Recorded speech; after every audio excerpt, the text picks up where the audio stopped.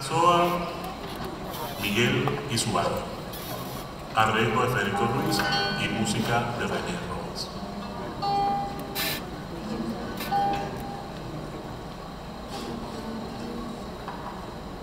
Al pie de un guasimo donde veía ser así tan cómodo como un sultán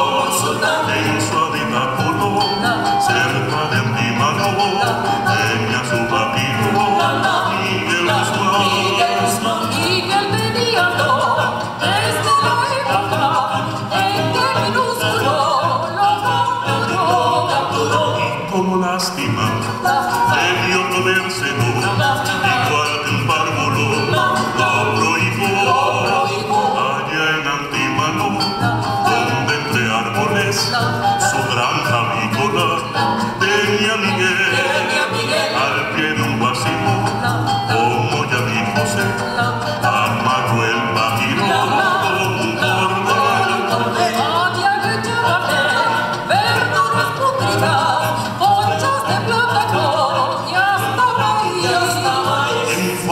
súbita y asaz diabólica no fue rápido volvió a Miguel.